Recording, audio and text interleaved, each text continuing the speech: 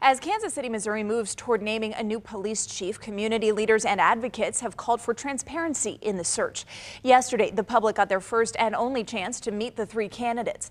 KMBC 9's Peyton Headley is here with what one group wants to see change in the selection process. Yeah, Emily, they want to see more community involvement. Now, at that forum, each candidate answered 10 questions that had been pre-submitted by the public. After that, community members had the chance to ask three questions. Activists say that's not enough.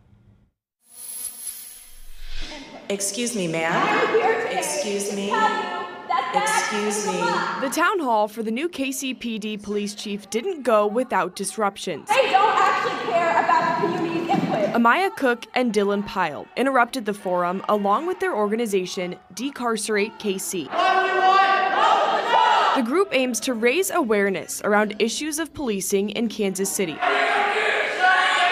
Both say they want more community involvement in decisions like who will be leading the city's police department. We feel like this process is not actually community engagement, and we wanted to call that out and show them that they can't get away with it. We think that the people are actually left in the dark about what really goes on in the search of the police chief. And they aren't alone. Other community leaders have also said they want more opportunities to be able to understand the candidates and more time. It's the process I think needs to be worked on. Everything about it is is highly problematic. We wanted to show up and basically show that we're not going to let them continue to get away with these facades of public input. All of them looking for more transparency in the Board of Police Commissioners' choice for chief. You don't see us. You don't hear us.